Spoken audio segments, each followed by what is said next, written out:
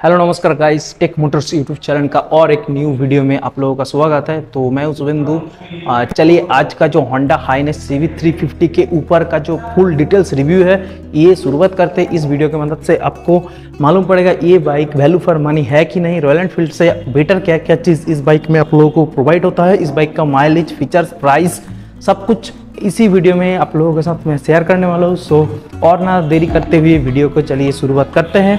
तो पहले ही मैं बता दूँ 350 सीसी सेगमेंट में सबसे ज़्यादा फीचर्स लोडेड टाइप का एक बाइक है ये। तो जैसे कि शुरुआत करते हैं फ्रंट से ही देख सकते हो, पूरा राउंड टाइप का आप लोगों को हेडलैम्प सेटअप मिलेगा।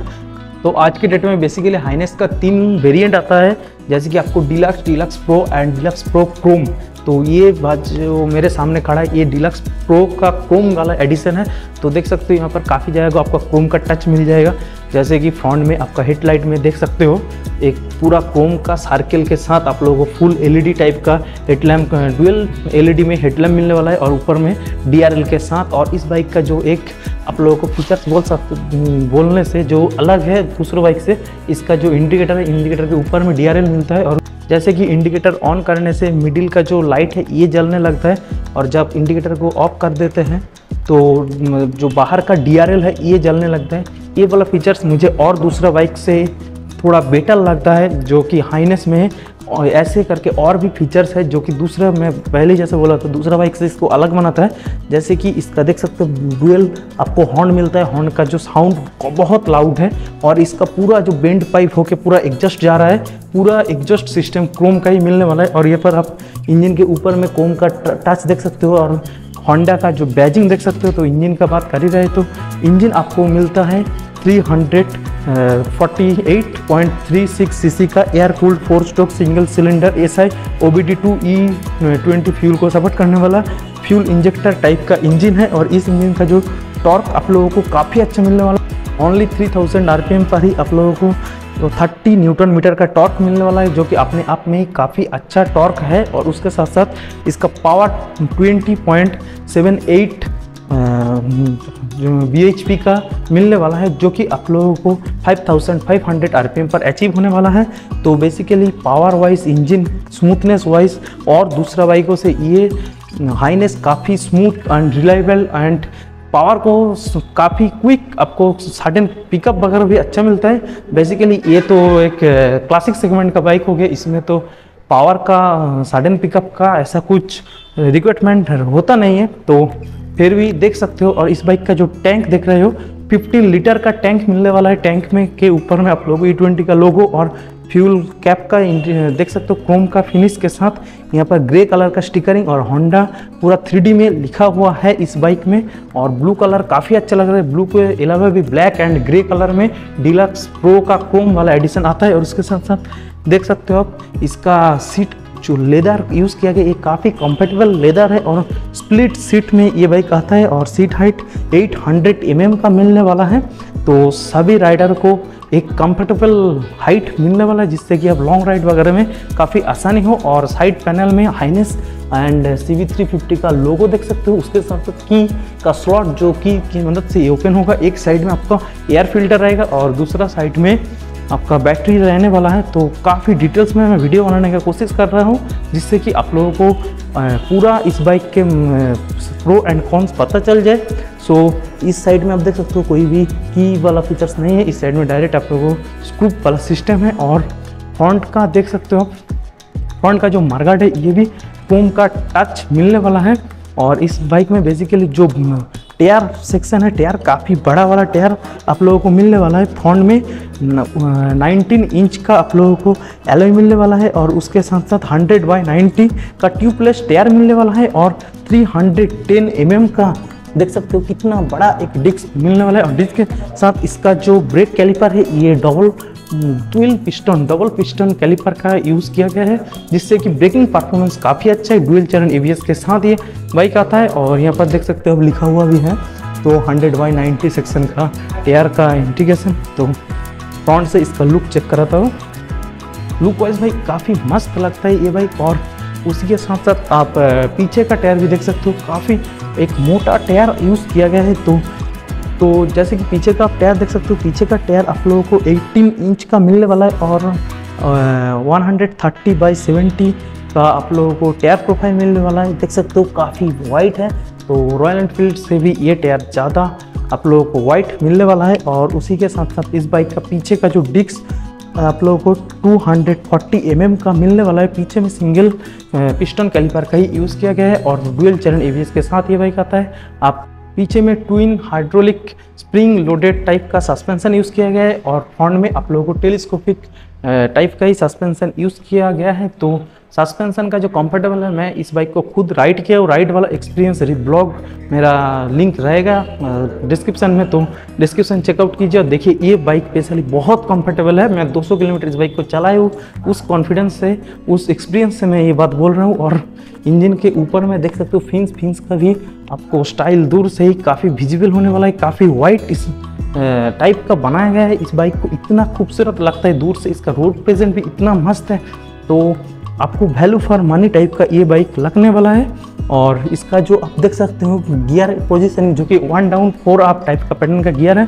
गियर में कोई भी लैगनेस या फिर कोई भी अटकने जैसा प्रॉब्लम आप लोगों को नहीं मिलने वाला है। साइड स्टैंड इंडिकेटर आप लोगों को उसके साथ साथ डिस्प्ले में शो होने वाला है। उसके साथ साथ साइड स्टैंड काटो फीचर्स का भी आप लोगों को यूज़ किया गया है, जो कि गियर में गाड़ी रहने से साइड स्टैंड लगा हुआ रहेगा तो इंजन स्टार्ट नहीं होने वाला। उसके साथ साथ आप देख सकते हो डबल स्टैंड का भी फीचर्स तो जो सेंटर स्टैंड काफ़ी हेल्पफुल होता है इस तरफ़ का टूरिंग टाइप में।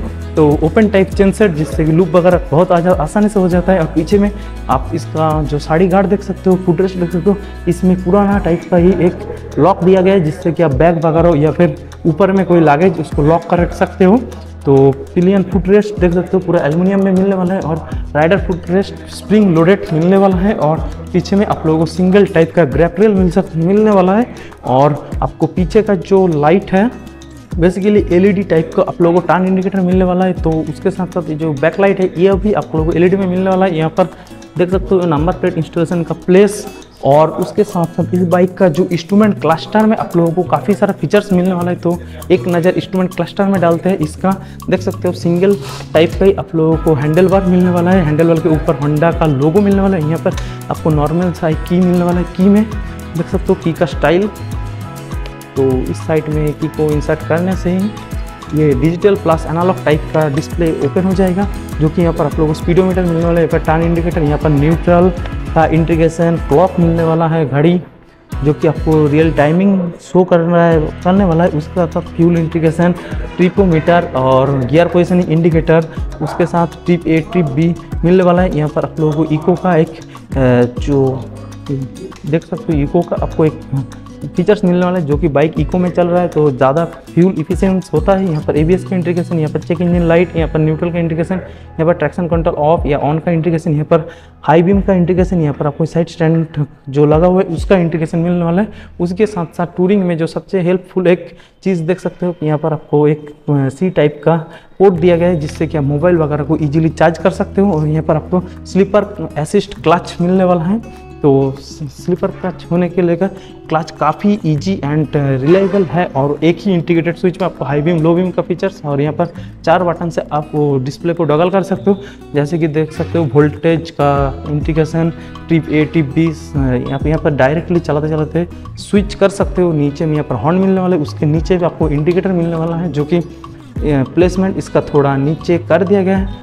तो राइट साइड में एक ही स्विच में आप लोग को इंटीग्रेटेड स्टार्ट एंड स्टॉप का बटन मिलने वाला है तो और उसके नीचे में आप लोग को हैजर्ट का बटन कंपनी से ही फिटेड मिल रहा है, जो कि आपको एक्सटर्नल बाहर से कुछ भी आपको इंस्टॉलेशन करने का ज़रूरत नहीं है, और इसका बहुत सारा किट जो होंडा खुद प्रोवाइड करता है, जो कि मैं वीडियो में आगे आप लोगों को दिखाने वाला हूँ। तो देख सकते हो, इसका मिरर राउंड शेप का मिरर है और मिरर का ऊपर भी इसमें आपको क्रोम का ट्रीटमेंट मिलने वाला है। तो ये स्पेशली क्रोम एडिशन है तो भर भर का क्रोम का तो फिर थोड़ा टच देगा ही और वीडियो अच्छा लग रहा है तो लाइक कीजिए। आपका कोई दोस्त होंडा का कोई भी बाइक या हाइनेस वगैरह कुछ भी लेने का सोच रहा है तो उसके साथ भी ये वीडियो आप डेफिनेटली शेयर कीजिए।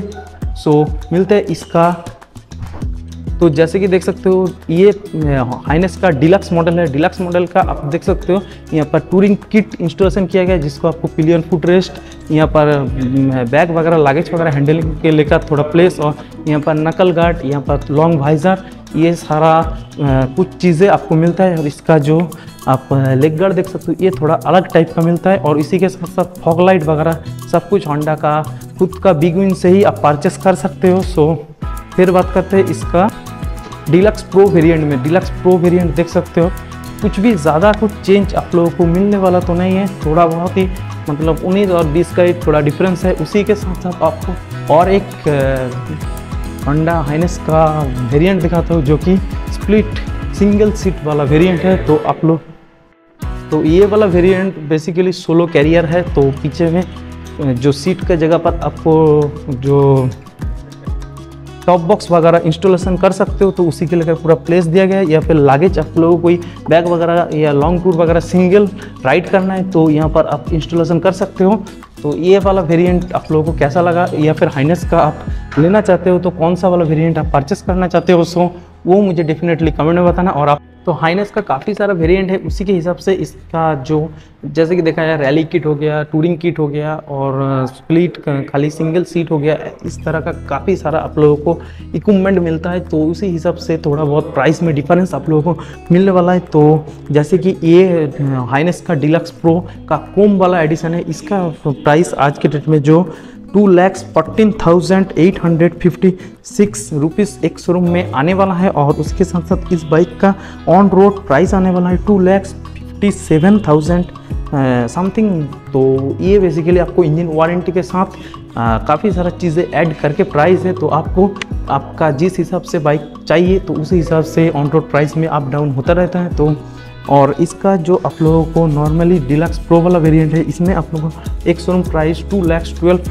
thousand eight hundred fifty six rupees पड़ने वाला है और डिलक्स प्रो का on road price two lakhs fifty four thousand rupees और उसी के साथ साथ जो सबसे नीचे वाला डिलक्स वाला वेरिएंट है, उसका एक सौ price two lakhs nine thousand eight hundred fifty seven rupees है और उसी का on road price two lakhs fifty one thousand rupees पड़ने वाला है। आज के डेट में ऑन मिदनापुर का जो बिग विन शोरूम का ये मैं प्राइस आप लोगों के साथ शेयर किया हूँ तो आपको होंडा का कोई भी बिग विंस में कोई भी बाइक चाहिए चाहे हाइनेस हो गया आरएस हो गया, यहाँ पर सी वी हो गया, और सामने देख सकते हो आप C V three hundred F three hundred R सारा बाइकों का स्टॉक यहाँ पर। तो आप Honda big wings Midnapore north में कोटा काली मंदिर के पास है शोरूम आ सकते हो, और कोई भी होंडा का बाइक आप लोगों परचेस करना है तो शोरूम का एड्रेस एंड कॉन्टैक्ट नंबर रहेगा मेरे डिस्क्रिप्शन में। So thanks for watching my video and next video आने वाला है Honda C V three fifty R S के ऊपर।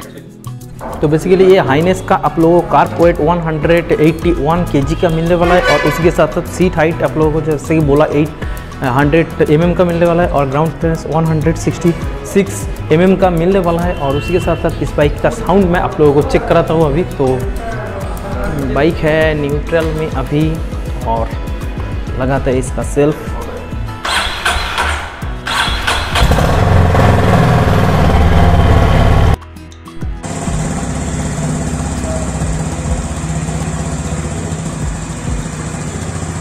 ये आइडियल कंडीशन का साउंड है और इंजन का साउंड कुछ इस तरह का और जस्ट का साउंड देख सकते हो।